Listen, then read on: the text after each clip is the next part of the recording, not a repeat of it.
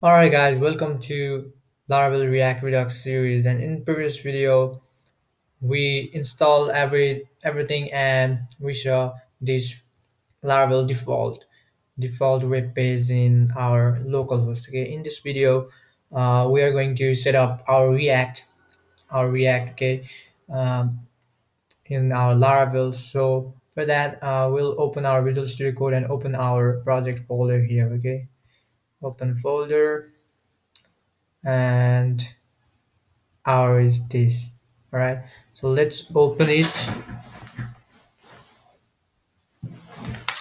Yeah it's good. Now now we'll use terminal of this all right this you know visual studio code. You can go here and go to terminal. And we'll say so we want to set up um, react yeah.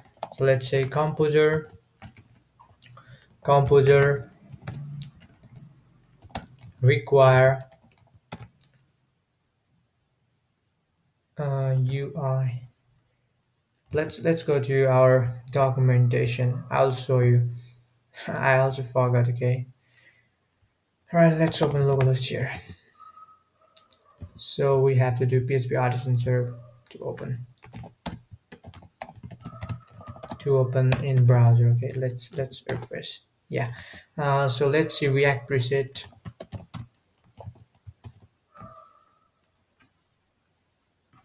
Let's see preset only. Preset. Yeah end scaffolding. And in here we see using react all we have to do is composer equal laravel slash ui mm, so let's let's do that. Laravel slash ui it will add some folder and file in our vendor folder. Uh, it isn't here right now. Uh, yeah you can see here. In laravel you don't need this just to show you i'm i'm just showing you okay? And it will add a ui maybe ui folder. Uh, it's while it's making let's see what what what are the next step you, we can do. We can do php artisan ui react. Uh, if you want authentication scaffolding like login form from ui we can do that but we are not using any login here. So let's let's use this line to to make uh, front end uh, using react. Okay now uh, it, it, it is made maybe i don't know where is ui folder. Somewhere i don't know. All right now now let's do that okay let's paste that line. Come php artisan ui react. Now we can do npm install. And again npm run they will do it next time. And it'll it'll make okay our front end from you know we can see that here in resources js here we can see okay. And we have to you know do something here in web.php let's go in routes web.php we can add a line. Uh, let's remove this. We'll say route view. And we'll do you have to do like this. And we want to say app view okay? All right and and after that let's make app app blade okay in our views. So let's rename this. Re- let's rename this. Let's say this um, app app title blade okay? All right and after we'll remove everything from here and what was there? Nothing yeah and we'll give uh, exclamation mark and press tab and we'll get that and we'll need our our js okay? So let's import that. Script source is equals to js slash this app all right app the js and we'll close this tag we'll say script right?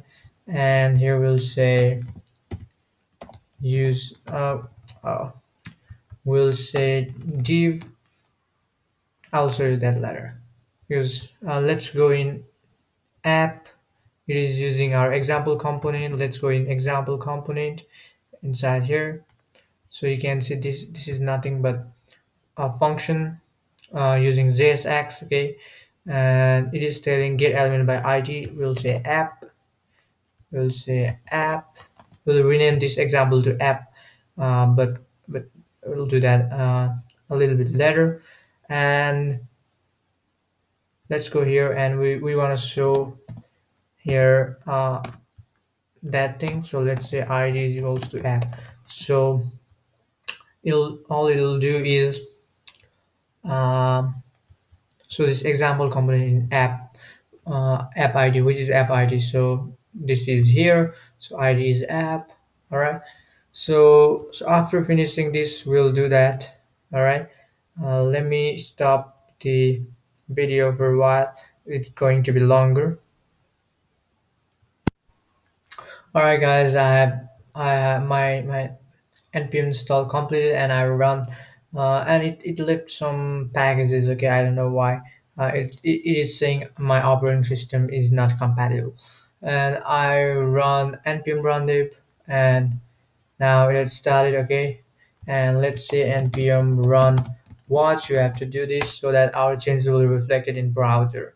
All right so let's do this and and let's see if it something happens. All right all right let's see uh, example component. It's it is showing but it is not showing bootstrap okay? Let's let's grab bootstrap cdn uh, actually uh, yeah let's do bootstrap. But later we'll be using um, uh, css okay? Uh, you can use any of them but i'm just gonna use that um, so let's copy this all right and let's let's paste it here all right? And let's also say our title change our title name okay? Let's say laravel react redux all right? Let's do this here. Yeah you can see that. Yeah our everything is good now. Now you can see here our react dev tool is working maybe so easier. Okay it is saying page using development. Build of react it is development yeah not production. All right. And now and now what we want to do is let's install some dependencies of you know react. We'll say npm install react redux. Also let's let's do first redux. Redux all our different packages okay? Rea- uh, and we'll have a node underscore module folder uh, in which everything will be there. It's very heavy you know. React redux uh, redux thunk for middleware. Uh, actually react uh, redux uh, is different and react redux is different okay? So because uh they react and redux just both fits perfectly okay? Uh redux thunk will need uh dev tool uh, react uh, redux. Redux dev tool extension redux dev tools extension right and uh, um, Redux dev tool extension and what also React router, React DOM, React router DOM. I think this this much will need okay that much. Uh, so it will also take time, uh, maybe a few minutes, and and after that, uh, we'll be uh, we'll be you know using maybe we'll use materialize css to make our front end uh, front end and after that we'll make our end form to post okay? And uh, and also we have to make our api uh, in laravel so that our request will be handled by laravel. Uh, it's it's it's installed okay pretty fast okay? And now okay let's um